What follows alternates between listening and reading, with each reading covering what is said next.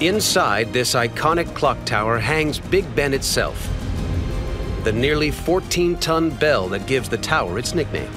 The bells that chime on the quarter hour sit around it.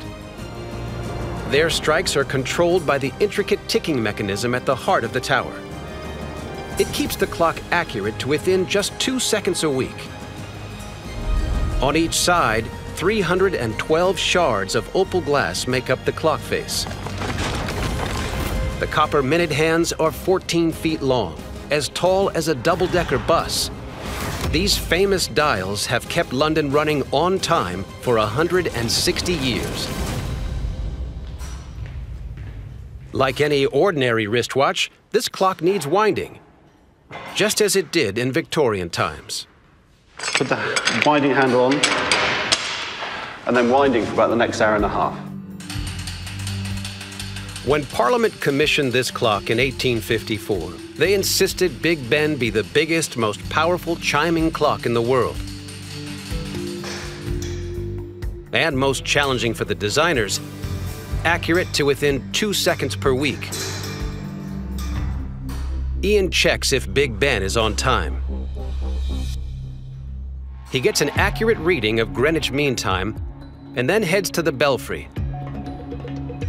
It's currently almost 10 a.m. Will Big Ben chime on time?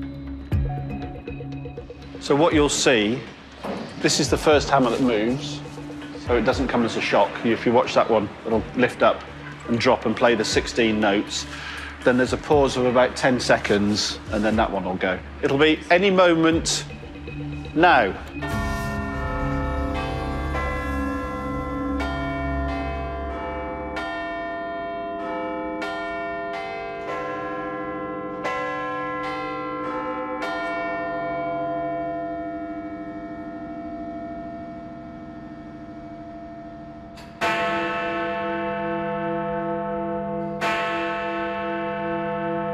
Big Ben's chime roars across the capital at 118 decibels, almost as loud as a jet plane taking off. So, is the clock on time? We're one second slow. Traditionally, what we do, we add a penny. One penny, old pre-decimal coin, speeds the clock up just to bring the clock back into time. Like those original clock keepers, Ian knows this tiny weight raises the pendulum's center of gravity and makes it swing faster. We've corrected it and it's come back up to time.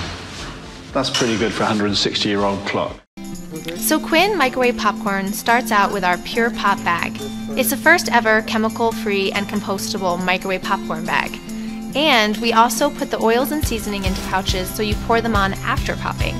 This way we can use healthy oils and real ingredients Plus, it's absolutely way more fun to make.